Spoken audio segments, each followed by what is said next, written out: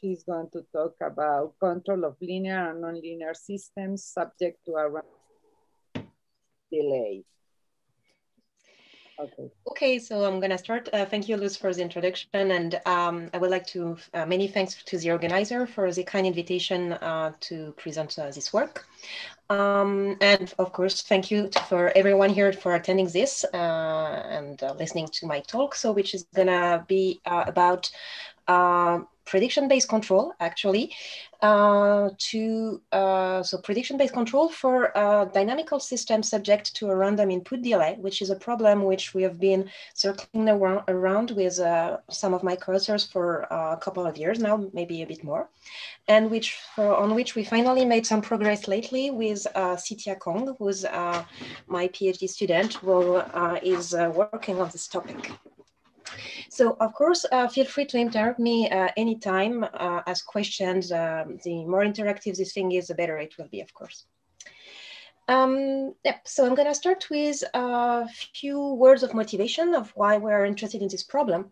So you know that time delays are uh, ubiquitous, of course, you encounter them in many contexts, um, but most of the time it's really just small delays due to uh, acquisition time and this type of things, due to sensor uh, sensing and so on. Uh, but when it's more, um, when the values are um, more important, it mo most of the time comes from physical transportation, meaning that you are uh, you really have a material which is transported from a point A to a point B, right? Um, and this is what we call transport delay most of the time. And a typical example, something that we can all experience in our in everyday life, uh, is the um, bath uh, dynamics or shower dynamics. So when you open the faucets uh, here and you wish to have a cold, uh, warm, sorry, uh, shower, you have to wait a little bit before entering the shower, right? Because uh, for a while, the water which is leaving the faucet is cold. And this is due to the fact that you have water which was inside the pipe during the all night, for example, and which is frozen then. Um, and depending on uh, the length of your pipe, this, this delays this time you have to wait before uh, the warm water reaches the nozzle could be quite long or um, well short, but it depends on the way you act on the amount, the flow rate of, uh, of water flowing through the pipe. And in any case, what is going on here is that uh, the information or the data, the temperature here, which is sent through the, the pipe won't uh, change order, meaning that uh, it will satisfy the first in, first out principle. Information that are entering the pipe in a given order will leave it in the same order. So uh, I'm giving this example of bath shower, but this is also true on more uh, industrial examples, such as uh, blendings uh, in refineries, uh, where instead of uh, water and shower, you have a crude and a given recipe like octane numbers that you want to leave the refinery and go to the gas station. And this is also true for internal combustion engines, uh, where you want to control as accurately as possible the composition of the gas into the um, combustion chamber here. And you do so uh, usually with actuators which could be located far away. So this is a vast transportation, uh, a vast class, sorry, of delay, but um, when you have, so, and most of the time, sorry, you, when you uh, model this thing, you model the, the, corresponding delay as a time differentiable function. And um, uh, it will satisfy this thing. D dot is smaller strictly than one, which means that you, if you look at the function t minus d of t, this thing is strictly increasing, meaning you won't go back in time, backward in time. This is not the case anymore when you look at uh, when the delay become uh, immaterial, meaning when it comes from a network, for example. So here I have um, a toy example where uh, I assume that my controller is talking to my plant through a network and that this network consists in three passes. Um, and one of the paths uh, has more nodes than the others. So if I have a routing algorithm on which I am alternating between these paths, here is what is going to go, what is going to happen. Uh, the first information goes through the first pass and reaches the plant uh, pretty quickly. The second one goes through the second pass and the third information passes the second one and arrives, kicks in the plant before the uh, second one. So you have reordering of information And um, you have then a delay which could switch uh, pretty rapidly, right? So you have certain variation of this delay. And this depends on the congestion of the network, on um, the routing algorithm which is used, and very various uh, parameters which are complicated to model. So the easiest way to model this is as a random delay. Um, oh yeah, and uh, just for um, a more uh, practical uh, physical uh, illustration of this phenomenon. Here is a screenshot uh, that I took when I was doing the slides of uh, the packets exchange by my computer. Uh, I'm just realizing that this is in French, so sorry for the non-French speaker, but uh, the important part is actually the plot, which is here. And so it, it's not uh, French dependent. So in red, you have uh, the packets which are leaving the computer and in blue, the one which are uh, entering it. And um, you can see so that the, the variation, the fluctuation of the number of packets pretty much resembles the roof example that I was giving here. So you have a sudden and a broad variation. Oh, and just for information, this graph I think is about is something about like two minutes. So you see that the sampling time is uh, quite high. So uh, this is uh, well a rough approximation, but you can assume that if uh, everything was uh, um, that if the picture was more accurate, you would have much more variation of the delay. Anyway, so the problem is that uh, these type of delay variation are uh, almost never studied in the literature. Most of the time, uh, delays are either assumed as constant, or even if they're considered as time varying, they are always assumed to uh, satisfy this first in, first out principle. Uh, it's either a prerequisite of the analysis or uh, so you have this assumption since the beginning of the analysis or a consequence of the control design which is carried out. And even if this is uh, quite a challenging problem already to be dealing with time varying delay, of course, we are in the nice setting where um, the delay behaves nicely in some sense.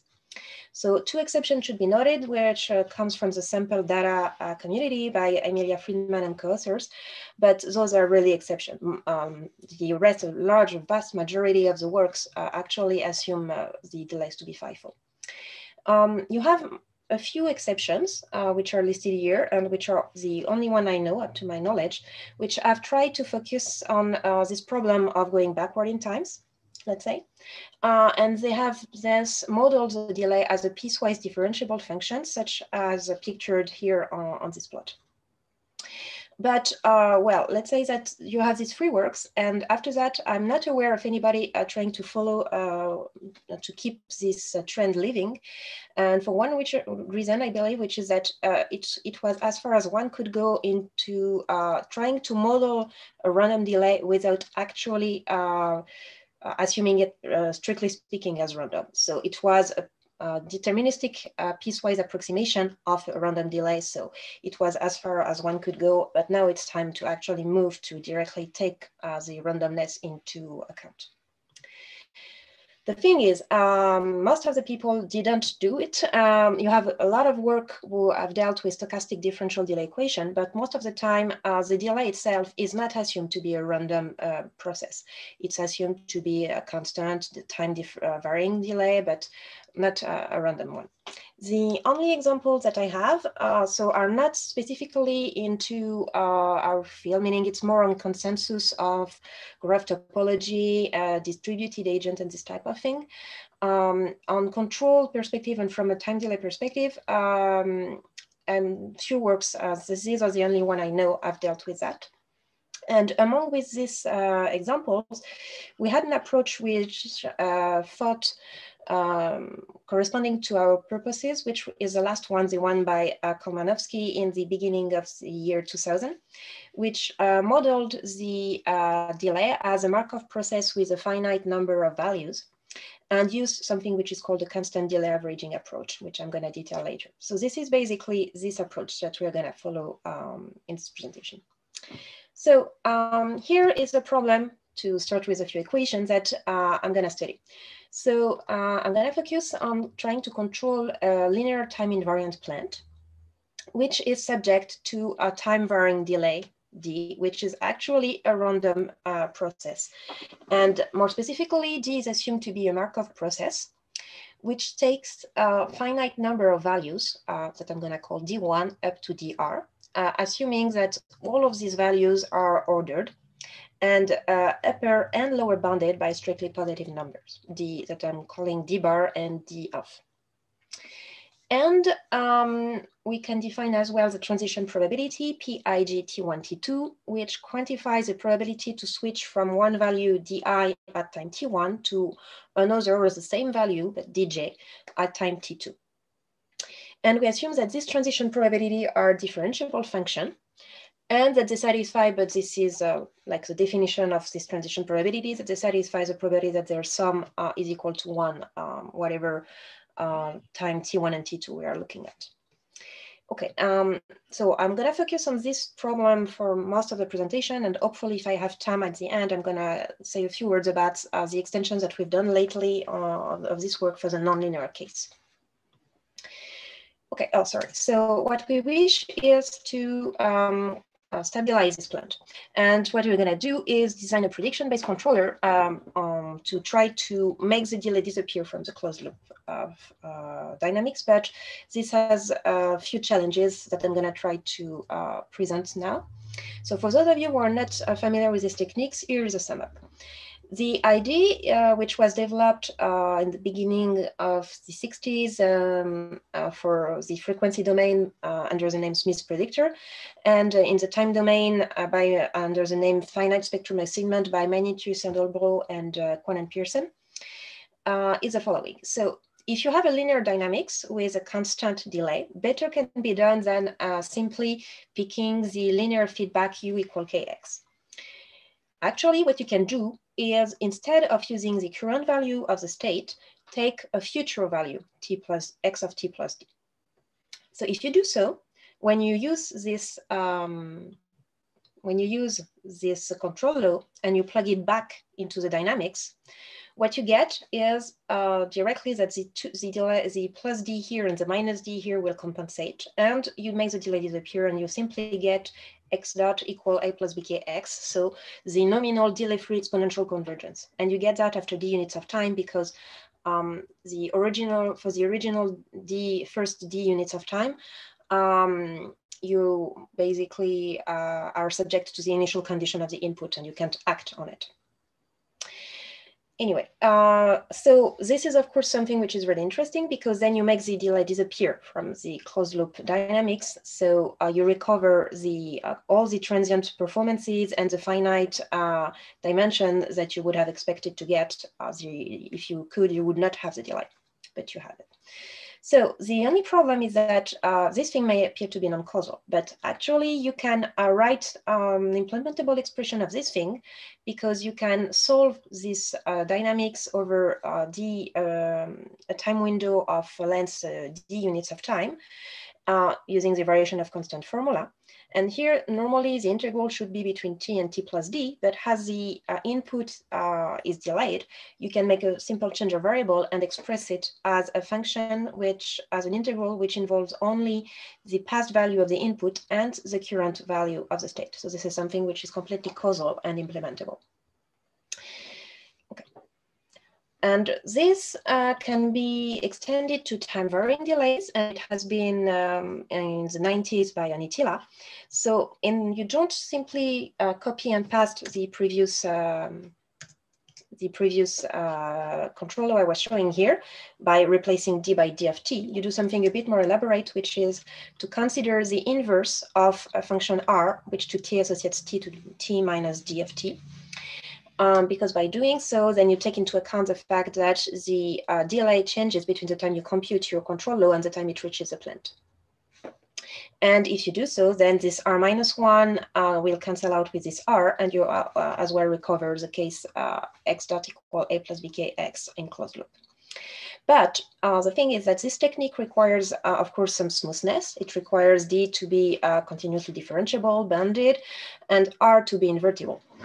Um, and this is something which, uh, of course, has no reason to hold in the stochastic case because the delay is non-smooth. So we have no regularity assumption. We have, um, we don't, we may not have invertibility of this R function. So this seems very uh, complicated to do.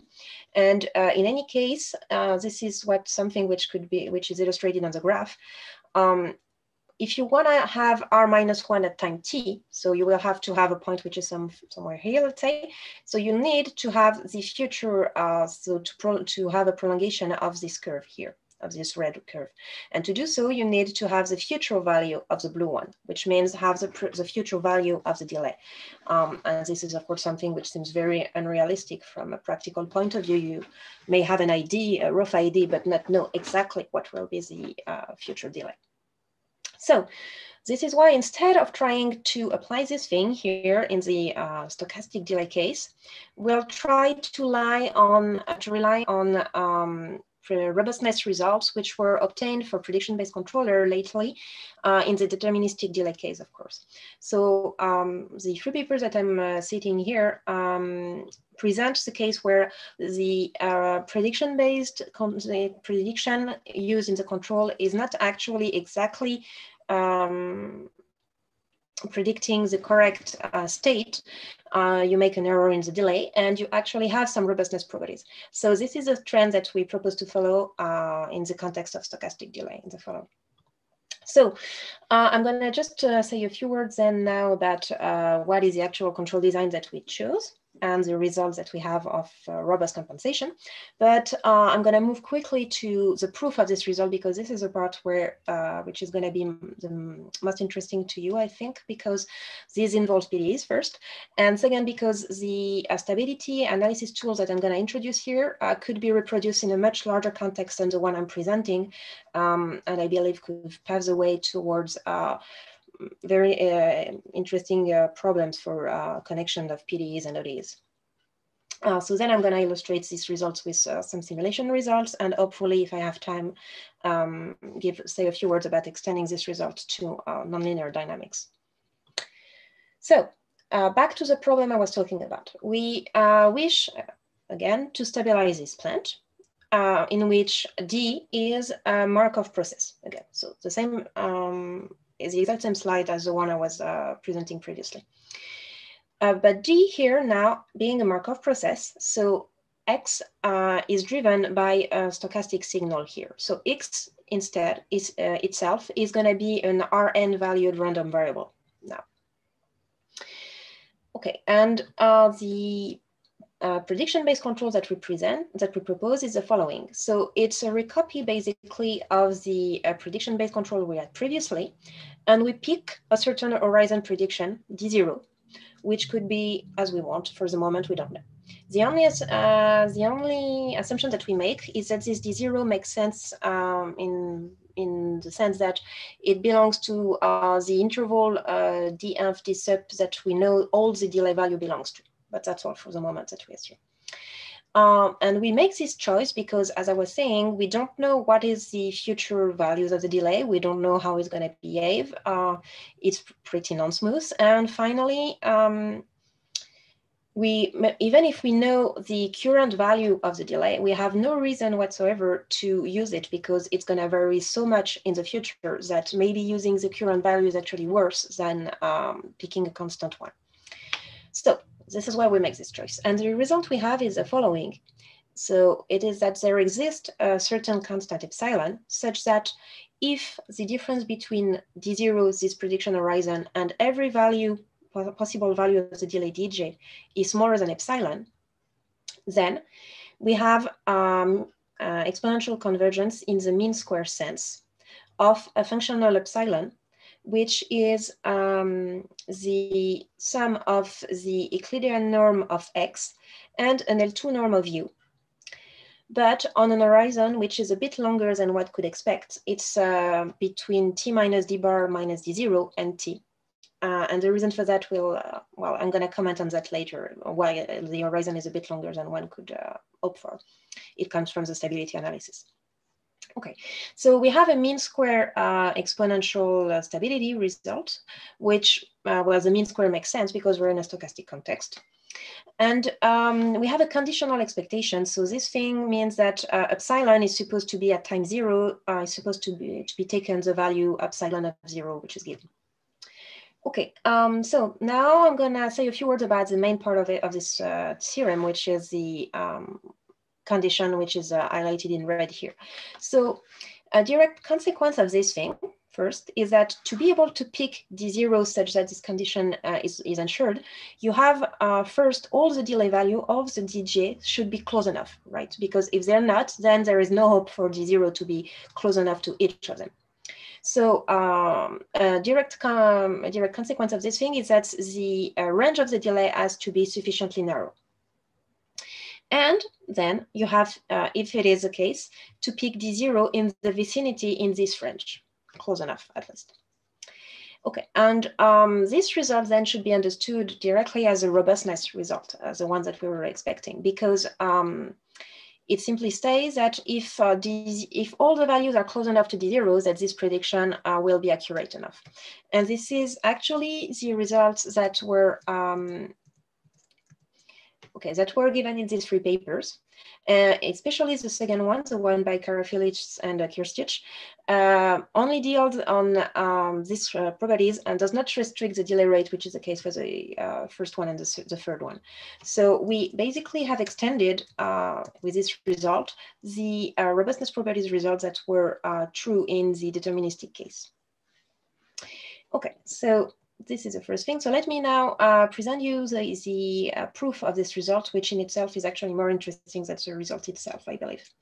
So uh, we, the, this proof is a mix between two different things. The first elements are um, actually kind of standard, the one that we use in the deterministic case uh, for input delays. So it involves the transport PDEs and so on um, backstepping transformation, as you will see. But uh, we had to mix them with uh, elements that are uh, very specific to the stochastic case. Um, and the mix of the two things is, um, is novel and explain why we were interested in the constant delay averaging approach. So um, to handle the fact that we have um, several possible uh, delay values, we represent each delay by a transport distributed actuator. So for each value dj of the delay, we uh, define a vj, which is a distributed actuator of u between times, uh, so uh, vj, it depends on x and t, x belonging to the interval 0, 1. So uh, this Vj corresponds to u between uh, time t minus dj and time t. So indeed, this Vj, so it's represented, let's say for uh, j equal one, so for d1, here you have u which enters the channel over there, which propagates which is speed uh, one over d1, and which leaves the channel as the value y, uh, u of t minus d1. Okay. You do the same for d2, d3, so on. Um, and as the delay are uh, supposed to be ordered, um, these speeds are um, decaying, decreasing, sorry. Um, okay, but at each time t, you only have one of the output of this channel, which is gonna reach the ODE. Uh, so you can see this as a selector uh, and uh, kind of switching system uh, in which delta uh, behaves as the, um, that I'm going to uh, present, behaves as the switching signal and you have, the ODE is either subject to V1 of 0t or V3 of 0t and so on. So to define this properly, here is the um, actual uh, rigorous dynamics of this thing. So if you define Vj as I was saying here, uh, each Vj will satisfy a transport PDE with speed 1 over dj, which corresponds to the purple dynamics over there. Uh, v bold here is just uh, the concatenation of every coordinates Vj. And so it's a vector in RR. Uh, lambda d here is a diagonal matrix whose components, uh, diagonal components are d1 up to dr. Okay, uh, and it is fed by u of t uh, at the boundary x equal one.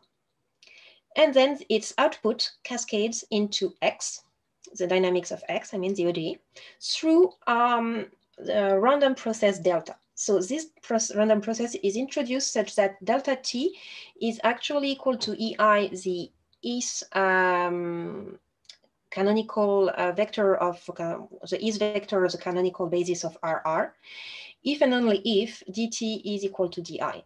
Okay, so we have, uh, so this delta will be uh, a vector which will select which component of the bar, the bold is acting on x. And so we've moved from um, a representation in which we had a random delay to a representation in which we have a finite number of transport cascaded through um, a random process into an array. And of course, as this thing is linear, it's easier to uh, handle, but we'll see how we do that. First, um, we use, uh, we extend a bit the system with uh, um, an additional distributed actuator, which corresponds to the uh, horizon uh, of prediction. And this is something that is usual with input device system. So um, we define v hat, which is u, but now between t minus d0 and t. Because so it's kind of redundant with the channels we already have here, but um, it's specific to the controller uh, and it's a delay which could be different from every delay that we have here. So uh, even if it's somehow redundant, it's going to be easier to uh, for the stability analysis of this thing. So um, this v hat now satisfy again a transport PDE here, and is fed by u, and it cascades into x.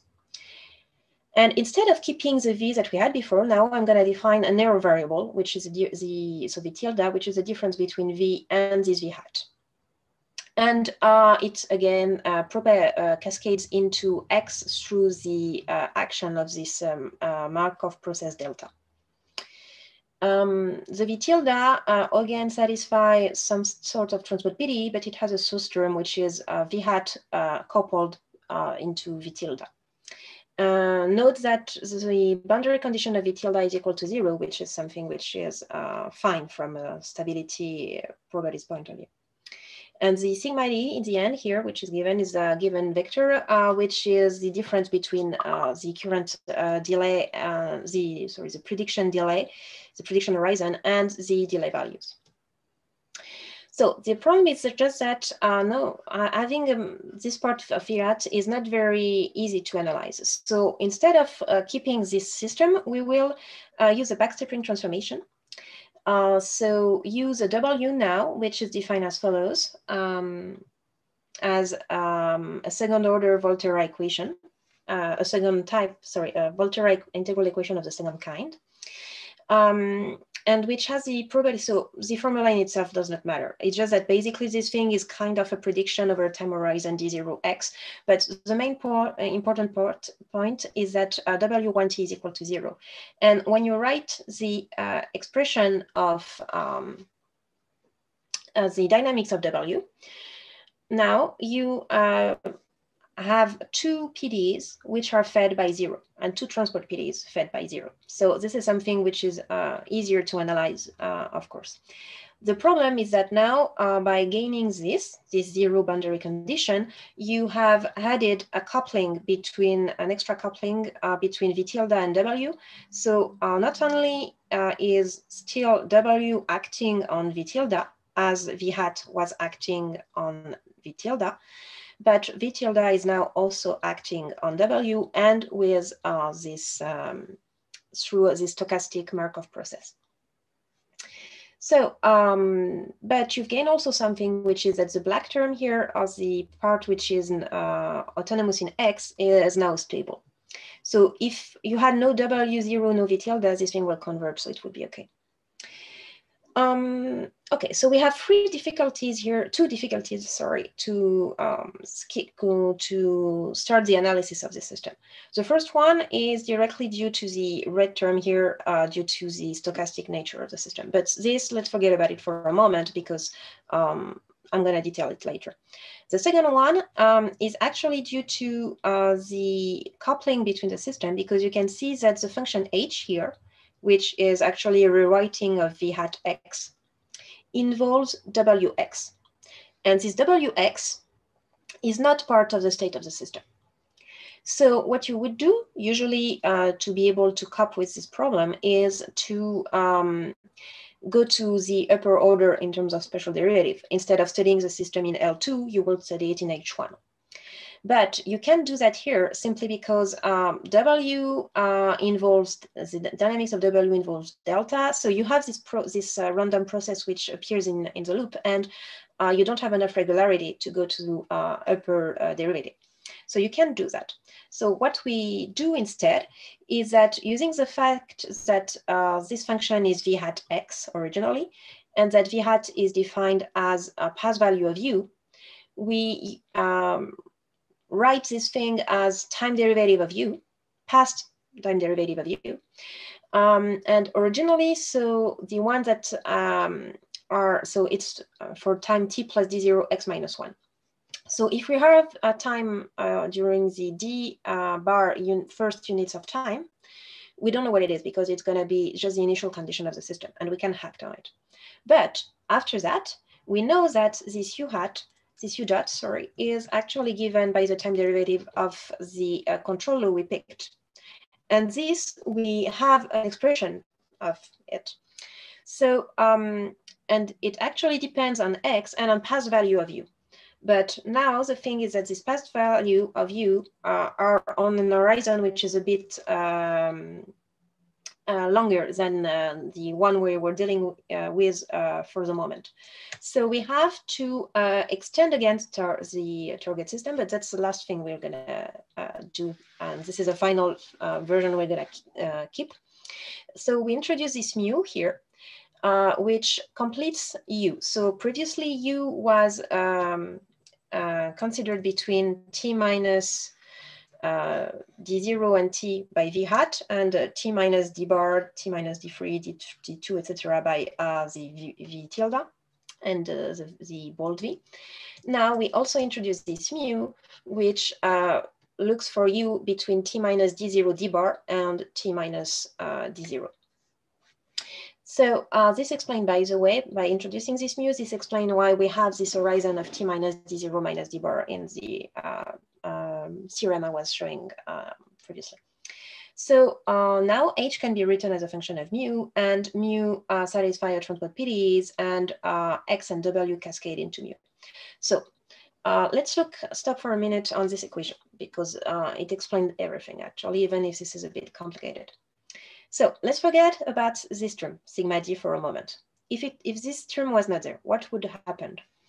Then v tilde would be um, equal to zero in finite time because this is a transport PDE. And this v tilde, it cascades into w and x. Okay. So after a while, uh, v tilde here should be equal to zero. And w, in turn, will, uh, which satisfy again a transport PDE, will be equal to zero in finite time.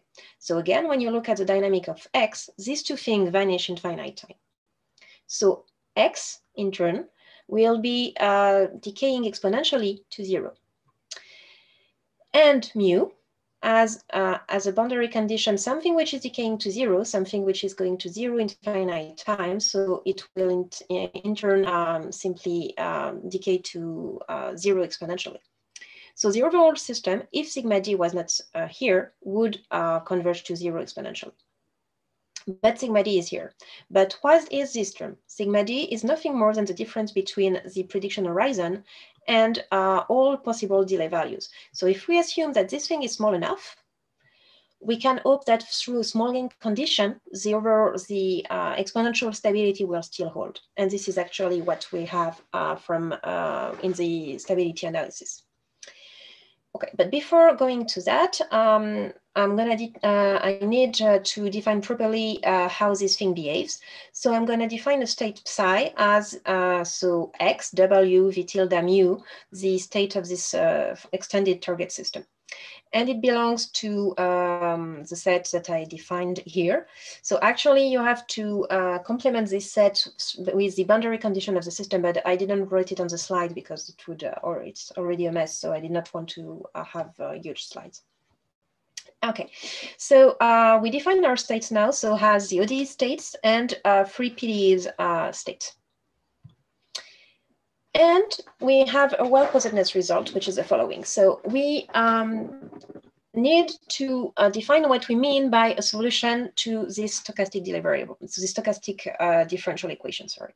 So we are looking at, at things uh, in, in under a weak, um, um, a weak sense, because of course, uh, having this um, random process into the loop means that uh, things won't uh, be exactly differentiable, right? So um, we uh, consider solution to the closed loop system to be a triple of x, ut, and d, belonging, so which are Rn times L2 times R valued random variable, the realization, the realization of which satisfy an integral form of the closed loop dynamics. And we say the same for the target system, meaning uh, that it will uh, satisfy uh, the, if the realization of uh, the, process, the psi will satisfy an integral form of uh, the ODE and Eigensted's function for the PDEs. And the result we have is that whatever initial condition we pick uh, into Rn times L2 for x0, e0, the closed loop system has a unique solution and the ODE part is defined uh, under this form, uh, which is a classical usual solution, right? It's just that here, the integral that we have um, the exist its existence uh, stems, so it's not, uh, of course, uh, the, the integrand is not continuous, but the integral exists, it stems from the uh, Lebesgue con con dominated convergence theorem. And consequently, has a closed loop system as a unique weak solution, the target system as well. Uh, and this is a consequence uh, directly of the way we constructed the target system, which is just um, a reformulation of the closed loop system plus uh, additional variables that we added, but which are nothing more than transport variable. Uh, and why is that important? Well, that's because once we have this uh, weak solution existence result, and unicity, sorry, so the well-positiveness result, we know that psi delta will define a continuous time Markov process. Um, so it's no longer one with a finite number of value because psi can take values into a continuum set, but that's a continuous time Markov process now. And correspondingly, we can actually move to uh, Lyapunov analysis. We know which tool to use. So I'm going to present them. So first, the Lyapunov function that uh, I'm taking is the following one. It's a sum of a quadratic term, which is usual, um, the one that you usually take in finite dimension, with P being a solution to Lyapunov equation. And we had free uh, L2 modif modified L2 norm for each of the um, PDEs state. So we could have used the uh, more usual exponential term here, but one plus x is fine. Um, and we have a sum here because v tilde actually is R component. Um, finally, B, C, D are tuning uh, parameters that we tune in the stability analysis to get the convergence. Okay, but this thing is of course not differ directly differentiable. So instead of, uh, so we introduce the concept of infinitesimal operator, which is defined here, LV, is the lim sup as delta tends to zero of the difference between the conditional expectation of V at time t plus delta t minus V at time t divided by delta t. Um, so this is nothing more than the Dini derivative of the conditional expectation of the variable. And um, so intuitively, what is going on?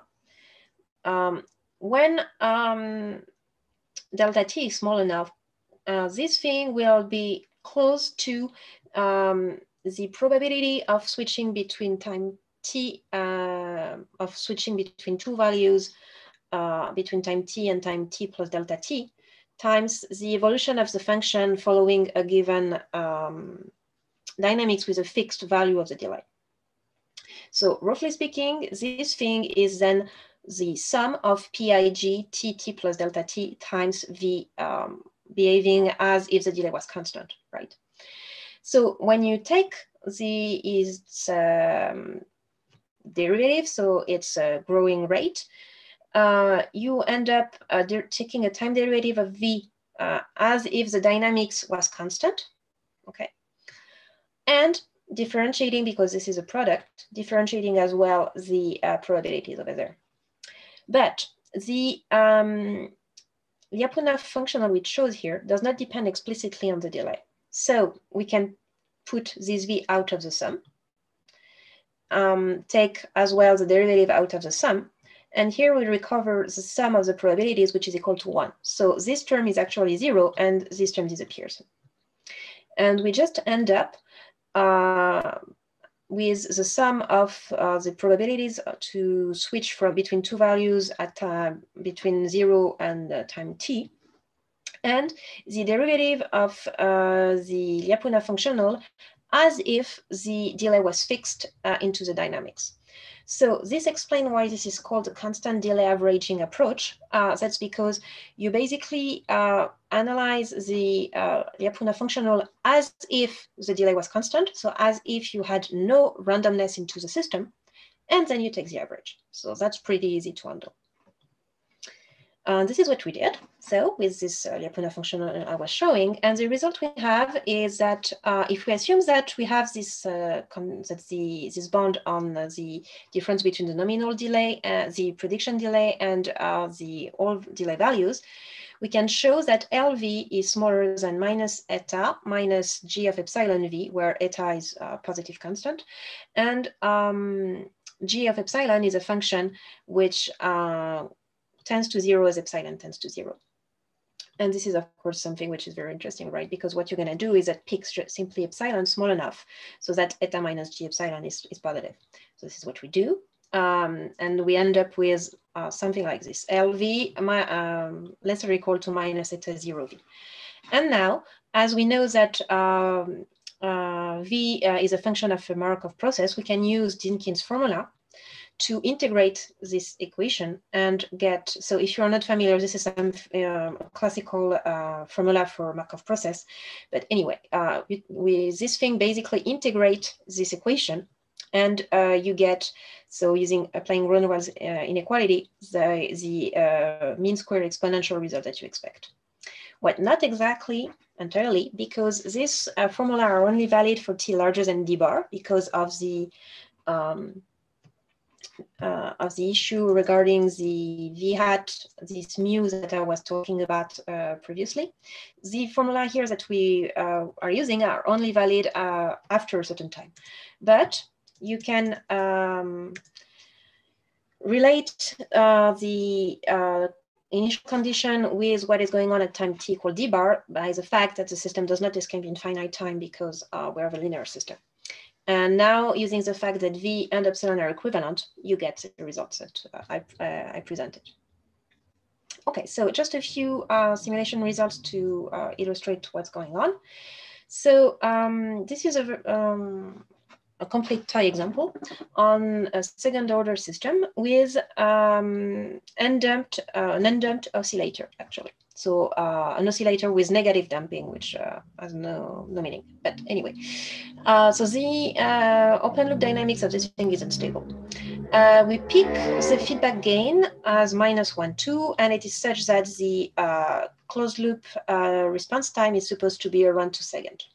The initial condition is chosen as one, zero, and as zero for the input. We picked five different delay values which are uh, 0.5 up to 1.5 and uh, uniformly distributed.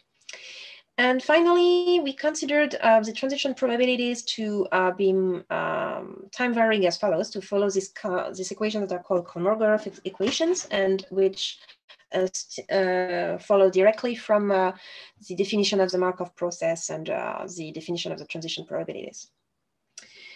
so those um, are a differential equation which depend on two uh, time varying uh, function uh, which are positive valued called uh, Cj and nu kg.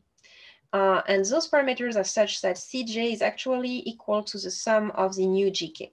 Um, and actually, um, if you assume that you have a initial condition which makes sense, meaning that they are equal to one if uh, e, uh, i and j are equal and uh, equal to zero otherwise, uh, you can show that the solution of this equation indeed uh, always is a transition probability because uh, the sum of the probability will be equal to one and each value will take value into, and each Pij will take value into the interval zero, one. Okay, um, and in simulation, we picked these uh, values Cj and UKG such that um, we have initially uh, a delay which uh, moves um, between 1 and 1.25 mainly, so which is kind of um, restricted to these two values meaning that the probabilities of switching from these values to any other one uh, is very, very small. But gradually it evolves towards something which uh, is uh, evenly distributed in some sense between uh, free values, which are D2, D3, D4. Okay. Of course, the probability of, uh, switch, of switching to D1 or D4, uh, D5 at any time is not zero. So sometimes you have uh, these uh, switches. So, and we picked here, in this case, our uh, prediction horizon as equal to one. And you can see that here, so here it's one realization uh, and the corresponding uh, input, uh, uh, input uh, in orange. And in yellow and purple, you have the two states. And you can see that though a bit oscillatory, the trajectories converge. So um, it's indeed a bit oscillatory in the sense that we said that the um, nominal uh, nominal um, response time was supposed to be two seconds, and you can see that it's much larger here. But uh, we keep the convergence, and we would not have been able to obtain it if we had been using a proportional uh, feedback. And here are uh, the results um, obtained for um, 100 trials. And you can see that the trend are um, almost similar. Uh, so this is for the uh, logarithm in the logarithm scale of the norm of the state and here for the signal. Um, and uh, the colored line here uh, represents the mean square and of the signal of the trajectories and plus or minus the standard deviation. Okay, but um, initially the input, so the, the DLI, sorry, was switching between 1 and 1.25, and we have no idea of knowing what could have been the correct delay value to pick, right? So if we had chosen 1.25, the thing is, as we had no idea to predict that it would actually uh, start picking a smaller value as delay um, around 1.75, uh, it would have resulted into an unstable dynamics as could be observed here. So it's the same here. It's one example of realization and here is the result of 100 trials. So which means that um, actually uh, picking the um, delay, um, the, horizon, the horizon prediction is of course uh, very dependent on the current delay distribution. And we are completely ignoring this point in our analysis. We're kind of taking the worst case scenario where we can uh, indeed um, um sorry, where we can indeed, uh, where the delay can take and reach any value uh, among the R possible uh, values. And uh, that may be over, um, um, well, killing the easy job because the um, all every value, all, all the values possibly taken by, taken by the delay may not actually be really taken right now. So as it is the case in the simulation where the 1.5 and the 0.5 are never taken basically. So uh, picking the uh, the zero uh, in the worst case scenario as we are doing right now may be missing something and it will be uh, interesting to uh, distinguish between two delay distribution in future works. So um, I think I have a couple of minutes just to um, show you what, how, what are the extensions that we did lately. So um, we considered the problem of uh, nonlinear uh, systems now. So the delay definition is exactly the same as previously, but now instead of having a linear dynamics, we have a nonlinear one. So what does it change? Uh, the first thing is that, uh, and this is standard, this is what is done for uh, prediction-based control for nonlinear system in the um, deterministic uh, context, we have to assume that the system does not escape in finite time because if it is, then for certain value of the delay, the one which are, are larger than um, the escape time, of course, the control won't even have the opportunity to kick in. Uh, the or system will have already exploded and there is no way to uh, um, get it back. So we assume that there, therefore, for this reason, we assume that the uh, dynamics is strongly forward complete, which guarantees then that the system won't uh, ex, uh, won't uh, diverge in finite time. And um, so in the linear case, we were uh, considering the linear classical standard linear feedback, but in the nonlinear case, we don't have a magical recipe which uh, uh, works for uh, any in any case. So we have to assume that we know um, a nominal feedback law, which um, we assume to be a, C, a, a class C1 feedback law, and uh, which in the nominal delay-free cases um, is such that uh, if we pick x0 in a given basin of attraction A, the plant uh, x dot equal f of x and kappa of x is exponentially stable. So meaning that without delay, we know that we have exponential stability. This is what we assume.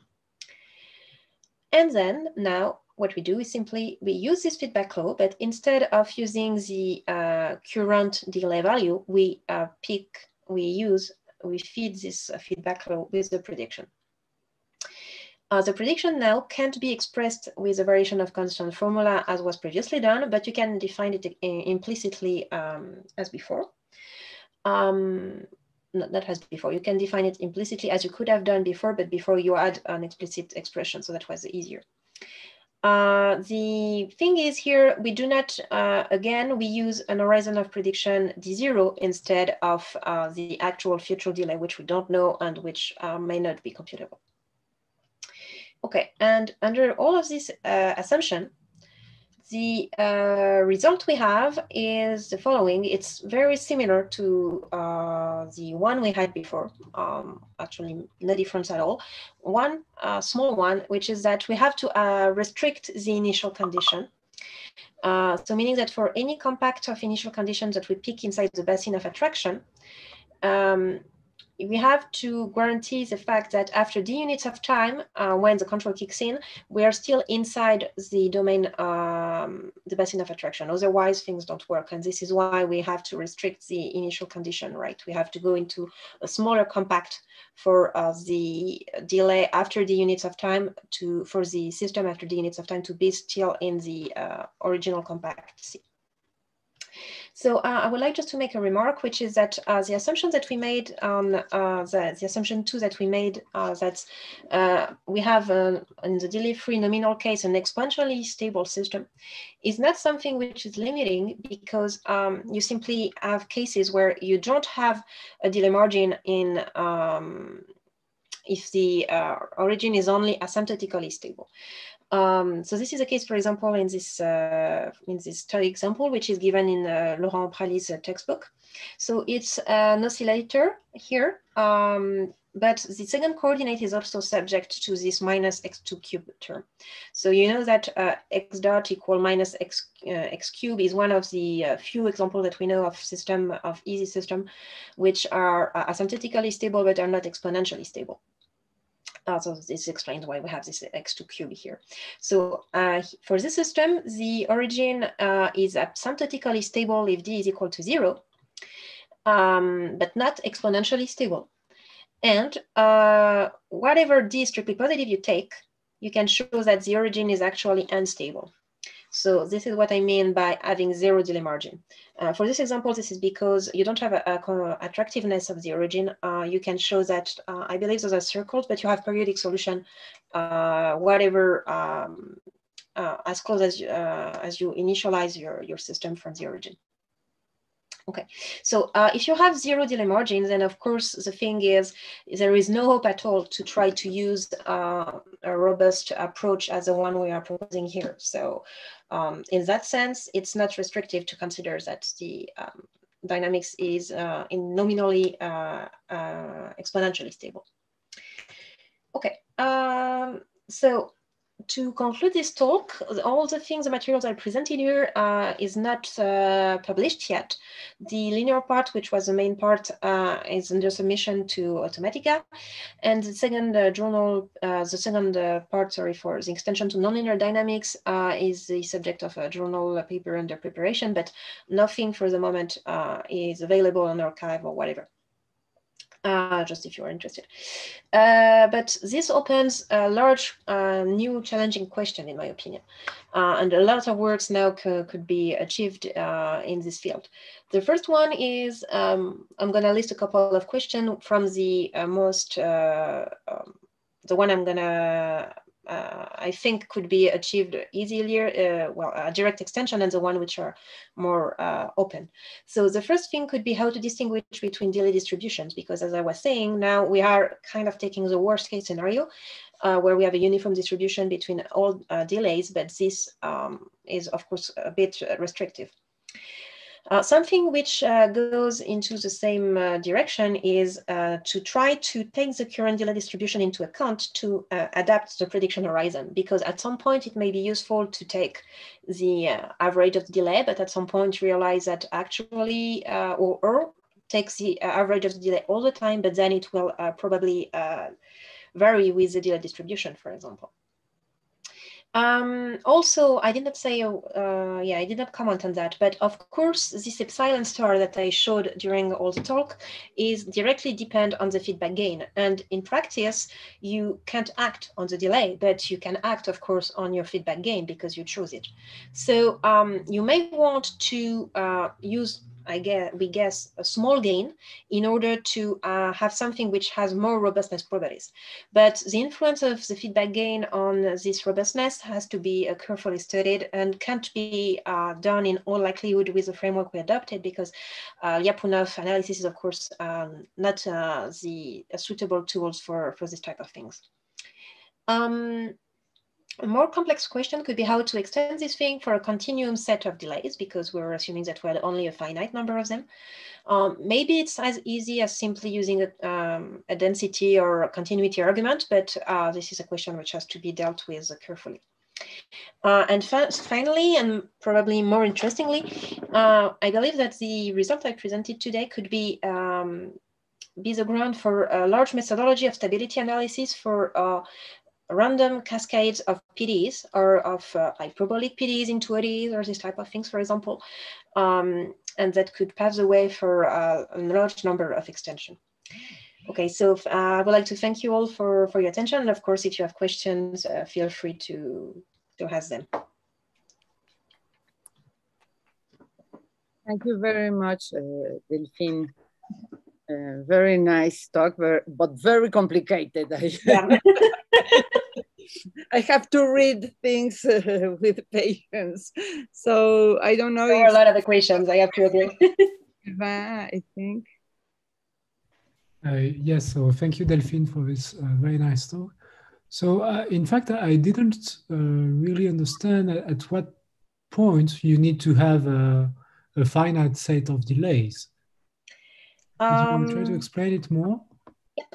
Well, actually, it's really maybe it's it's not the case to be honest, but um, um, yep. So in the analysis everywhere, we are assuming that we have uh, that this uh, v tilde here. So let me go back to uh, a slide which is more understandable. This one, for example, at the beginning, this v is um, as r component. So I believe that indeed you could simply say, okay, it's it takes value into a continuous set and that's all. And that could be okay.